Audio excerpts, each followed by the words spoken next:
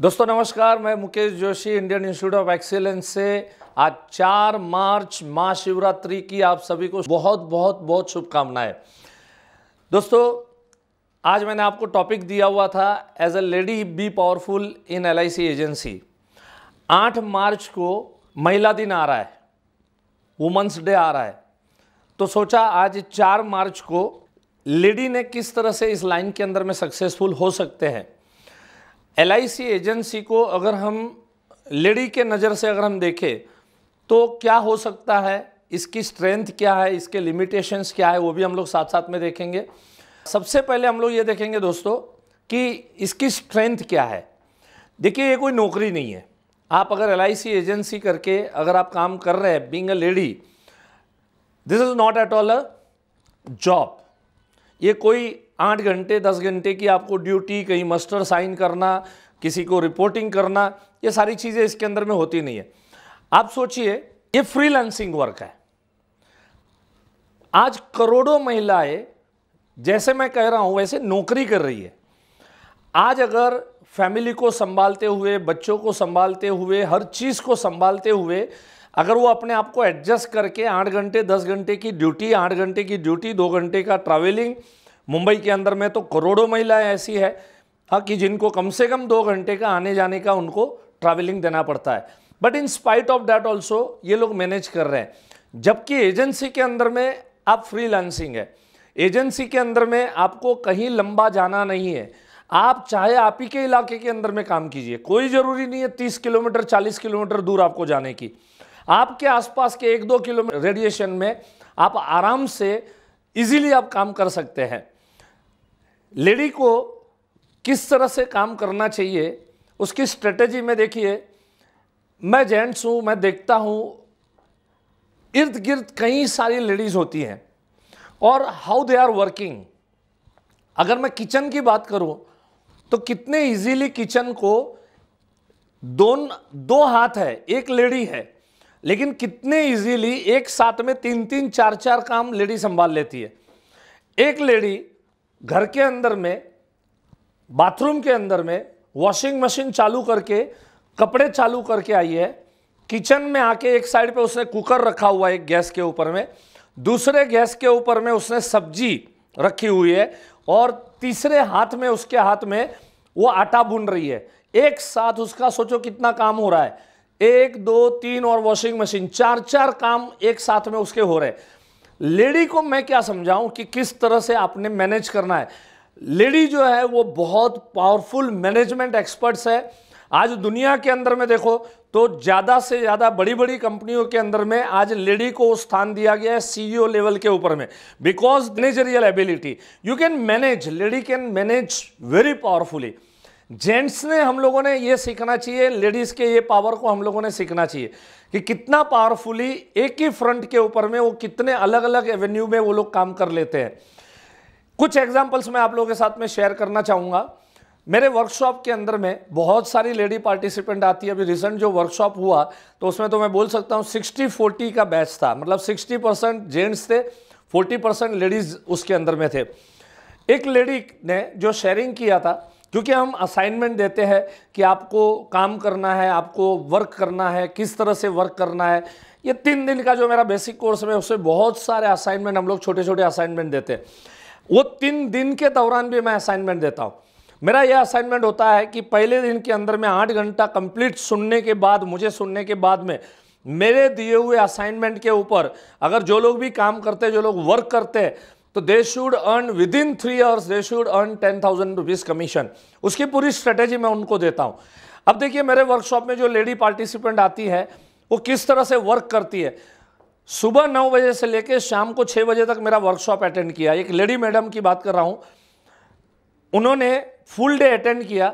मैंने असाइनमेंट दिया था कि आपको छः बजे छूटने के बाद में छः बजे से लेकर रात को ग्यारह बजे तक आपको कम से कम तीन लोगों को मिलना है। और जो मैंने कहा, उस हिसाब से तीन लोगों को मिलना है। वो लेडी ने दूसरे दिन के वर्कशॉप में मॉर्निंग में उसने शेयरिंग किया कि, सर, मैं I am coming from joint family आज कम से कम 12-14 लोगों का हमारा परिवार है और ये परिवार का खाना पकाना मेरे ज़िम्मेदारी है। शाम को छूटने के बाद आपने कहा तीन लोगों को मिलना। लेकिन मैं ये सोच रही थी कि मैं कैसे मिल पाऊँगी? क्योंकि 12-14 लोगों का घर पे जाके खाना मेरे को पकाना है। पंजाबी फैमिली से थी। घर पे जाने के बाद में बोले, मैंने एक किलो सब्ज़ी कोई भी, भिंडी लिया था। वो एक किलो भिंडी मुझे काटना था। मैंने क्या किया? साफ़ करने के बाद में एक बर्तन में लिया और चाकू लेके मैं पड़ोसन के पास चली गई। और वहाँ जाके मैंने कहा, मुझे अकेलापन घर में लगता है। सब लोग अभी बाहर गए, बच्चे भी ट्यूशन गए हुए। तो सोचा मैं अकेली बैठ के मैं सब्ज़ी काटूँ, उससे अच्छा आपके साथ में थोड़ी बातें भी हो जाएगी और मैं सब्ज़ी काट लेती हूँ। अरे आइए आइए, बैठिए बैठिए भाभी जी। काफ़ी दिनों के बाद आप आए। ऊपर से उस पड़ोसन ने उनका स्वागत किया। बैठने के बाद 15-20 मिनट डिस्कशन होता होता सब्ज़ी काटते काटते उसने, वो लेडी बोल रही है, सर, मैं भिंडी काटते काटते काटते 20 मिनट तक, जैसे आपने इंश्योरेंस का महत्व, मैंने जो समझाने को बोला था, वो क्या था? इंश्योरेंस का इंपॉर्टेंस बोले, मैंने वो इंश्योरेंस का इंपॉर्टेंस उनको समझाया। मेरे बहुत सारे और वीडियो के अंदर है, नहीं तो क्या है, बहुत सारे फिर हमारे दोस्त लोग कमेंट डालेंगे कि, सर, वो क्या बोलने को बताया? बहुत सारे वीडियोस मेरे आप देखते रहिए। उसमें बहुत सी आइडियाज़ मैंने उसके अंदर में दी है कि आपने पार्टी के सामने जाके बैठ के क्या बात करना इंश्योरेंस का महत्व क्या होता है, मेरे बहुत सारे वीडियोज़ आपको इसमें से मिलते जाएँगे। आप सारे वीडियोज़ आप यूट्यूब पर देख सकते हैं। तो जाके बोले, सर, मैंने इंश्योरेंस का इंपॉर्टेंस समझाया। इंश्योरेंस का इंपॉर्टेंस समझने के बाद वो लेडी इंश्योरेंस अपने हस्बैंड के लिए कराने के लिए इतनी प्रेरित हो गई। बोलती है, भाभी जी, एक काम करे, मेरे हस्बैंड आएँगे, मैं उनको समझा देती हूँ और आज रात को ही मैं आपके घर पे उनको लेके आती हूँ, एक दस मिनट के लिए उनको भी समझा देना। अल्टीमेटली देखो क्या हो गया, एक मीटिंग भी हो गई, सब्ज़ी का कटिंग भी हो गया, घर पे आया। घर पे आने के बाद में बोले, मैंने क्या किया कि अभी भिंडी को पकाने के लिए रखना था। इस साइड की पड़ोसन को मैं बुला के लेके आई। और उसके साथ मैंने बात किया, सब्ज़ी पकाते पकाते। सेम चीज़ मैंने कहा, मुझे अकेलापन महसूस हो रहा है, क्या आप मेरे किचन में आ सकती है एक दस मिनट के लिए? और ऐसे भी आप छोटा फैमिली है तो आपका तो खाना पक के रेडी हो गया होगा। वो लेडी ने बोला, यस, हमारा खाना पक के रेडी है, चलिए, आपके साथ में आती हूँ। वो किचन में आके बोले, मैं अपना सब्ज़ी बना रही थी और पास में मैंने इंश्योरेंस के इंपॉर्टेंस को समझाया। वो लेडी ने भी समझ लिया। ये दोनों लेडी रात के करीब साढ़े दस बजे अपने हस्बैंड को लेके मेरे घर पे आए। सर, मैंने क्या किया मालूम है? दोनों पड़ोसन के हस्बैंड के साथ मैंने मेरे हस्बैंड को भी बिठा दिया। तो मेरी तीसरी मीटिंग भी हो गई। तो इस तरह से सर, मैं तीन मीटिंग करके आई और sir you will be surprise ये तीनों की इंश्योरेंस पॉलिसी में बेच के आई। देखिए दोस्तों, आठ घंटा सेशन में रहने के बाद असाइनमेंट घर पे जाके चौदह लोगों का खाना पकाने के बावजूद भी ये लेडी ने ठान लिया था कि यस, मुझे हर फ्रंट के ऊपर मुझे काम करना है। तो बड़े आसानी से कर लिया। If you are lady it's very good opportunity आप सोचिए टाइमिंग की कोई लिमिटेशन नहीं है। आप सोचिए देर इज़ नो बॉसिंग आप पार्ट टाइम काम कर सकते हैं। इवन मैं कहता हूँ कि अगर बॉसिंग नहीं है तो हैरेसमेंट नहीं है।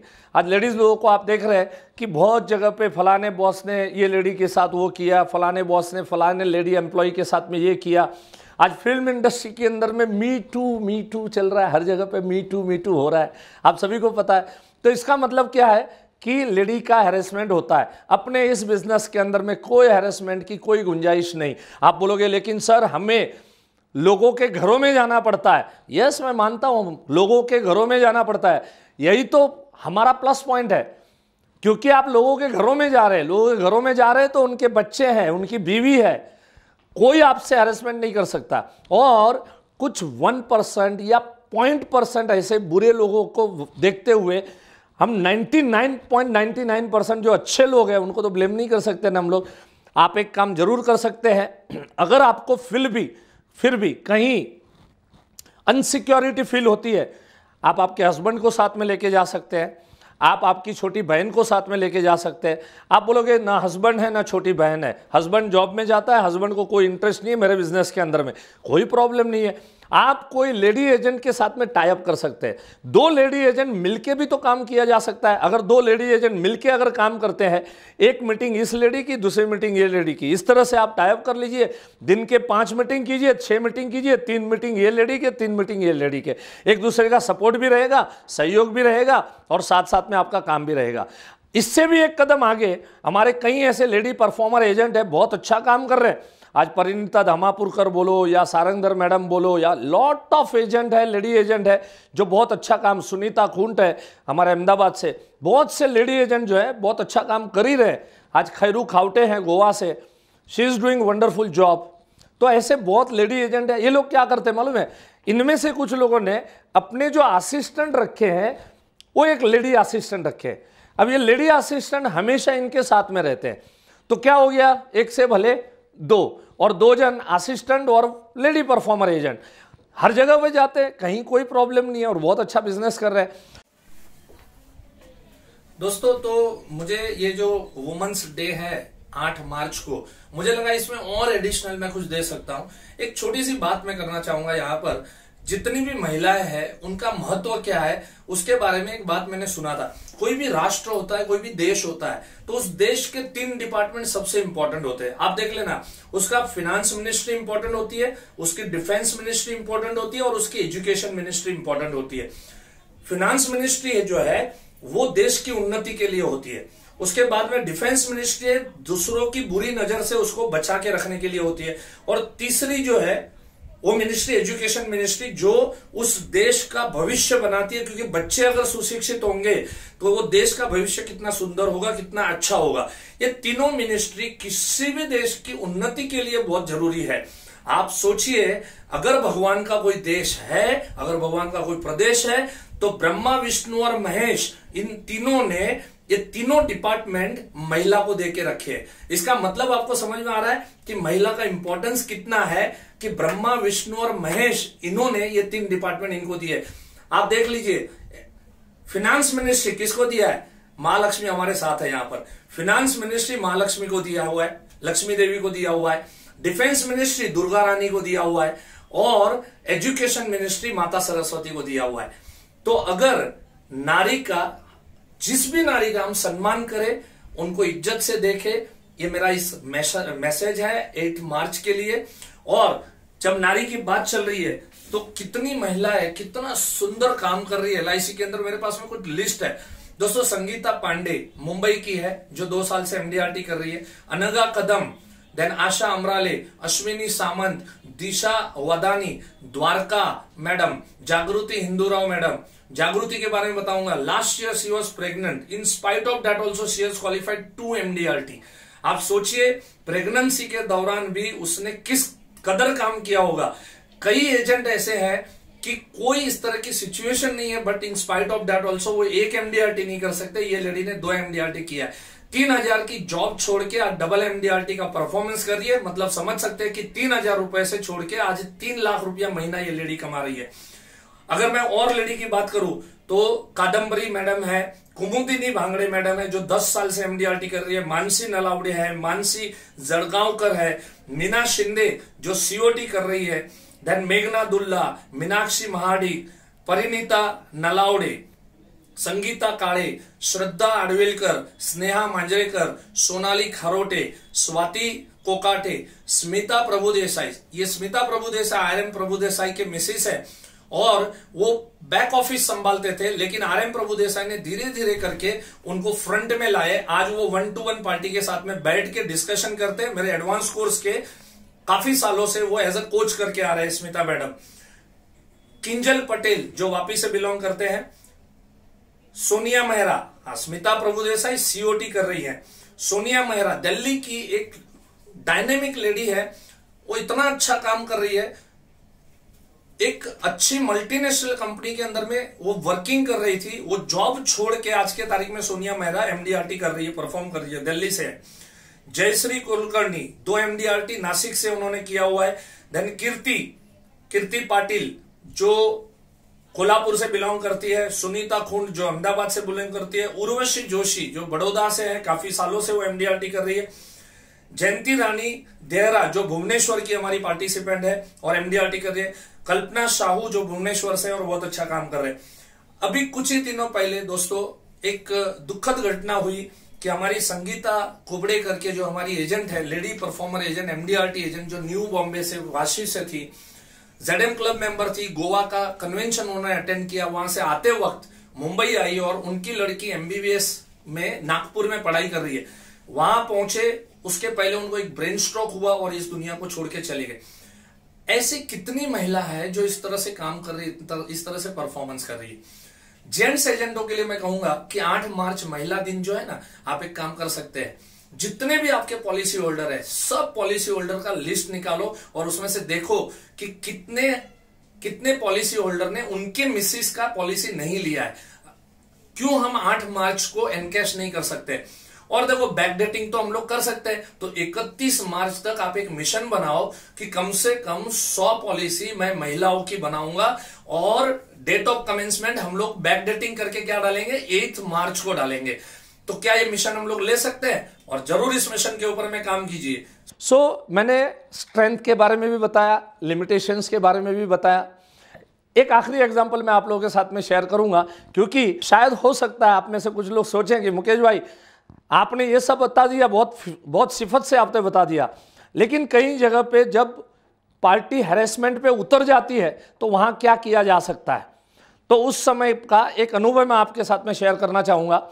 एक लेडी के पास, एक एक लेडी जब एक पार्टी के पास गई, उस पार्टी ने सीधा सीधा डिमांड कर दिया कि, मैडम, आप बहुत सुंदर दिखते हैं, आप बहुत अच्छे दिखते हैं। बोलिए, आप मुझे क्या दे सकते हैं?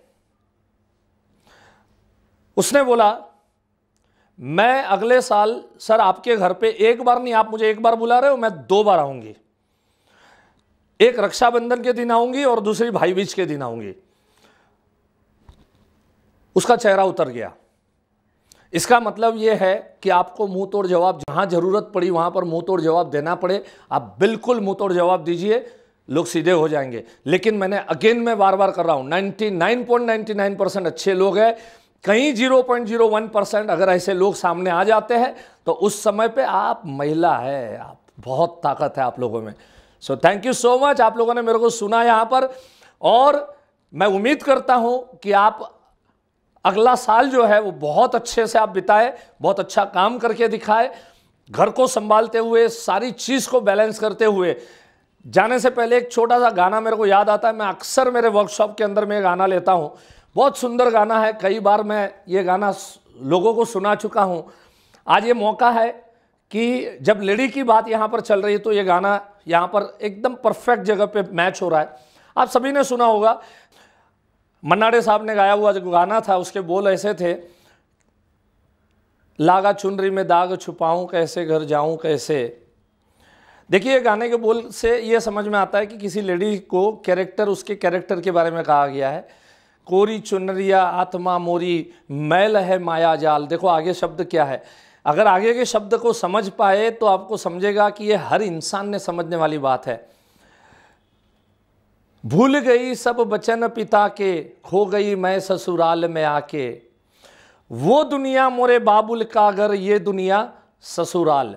इसका मतलब हमारा जो पृथ्वी है, इसको ससुराल का उपमा दिया हुआ है।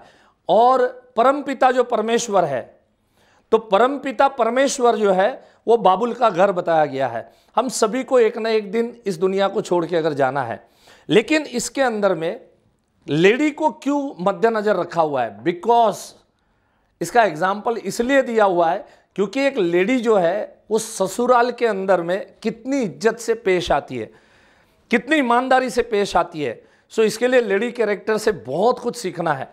अगर अपना बेटा दस साल का बच्चा, आठ साल का बच्चा, अगर उसको स्कूल जाना है, सुबह सात बजे उठना है, बच्चे को तैयार करके उसके लिए टिफ़िन बनाना है, आज तक कोई माँ ऐसी पैदा नहीं हुई होगी कि भले उसको 104 105 का बुखार है, लेकिन वो सुबह में उठे और अपने बच्चे के लिए टिफ़िन ना बनाए, ऐसा आज तक कभी हुआ नहीं होगा। हमेशा ये लेडी क्या करती है तो कितना समर्पण करती है। सो लेडी से बहुत कुछ सीखना है। सो सभी महिलाओं को मेरा सलाम है। ये आने वाली आठ मार्च को महिला दिन की शुभकामनाएँ अभी से मैं आप लोगों को दे रहा हूँ। थैंक यू सो मच और 11 मार्च को, अगले सोमवार को एक बहुत सुंदर टॉपिक के साथ मैं आऊँगा दोस्तों। नेवर गिव अप जीवन में कभी हमने गिव अप नहीं करना चाहिए। सो so, इसके बहुत अच्छे दृष्टांत के साथ में हम लोग 11 मार्च को मिलेंगे। Thank you so much wish you all the best have a nice time God bless you all रुकिएगा। Subscribe ज़रूर करना भाई। और वो बेल्ट बटन है बेल्ट बटन उसको भी दबाना। बाय